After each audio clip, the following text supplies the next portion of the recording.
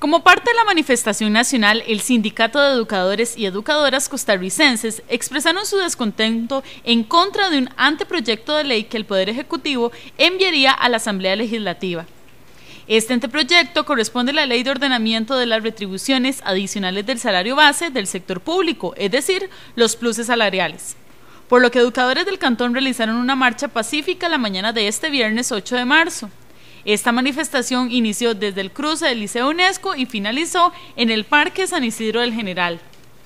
El secretario general del SEC en el cantón, Omar Fonseca, aseguró que esta huelga no es más que una lucha de todos los trabajadores del sector público. Es una lucha más, es el magisterio generaleño, es el sector educativo que está haciendo un llamado a todos los empleados públicos de Pérez Celedón y del país, especialmente para que entonces estemos diciéndole al gobierno no, no vamos a aceptar que a la Asamblea Legislativa entre un proyecto que nos va a afectar directamente el salario, que es para nuestras familias y no salarios de lujo como han querido decir, o pluses que tenemos diferentes a otros eh, trabajadores del país. El municipio y la Casa de la Mujer tenían actividades en el Parque de San Isidro del General, en conmemoración al Día Internacional de la Mujer. No obstante, Fonseca aseguró que no iban a alterar el orden de las actividades.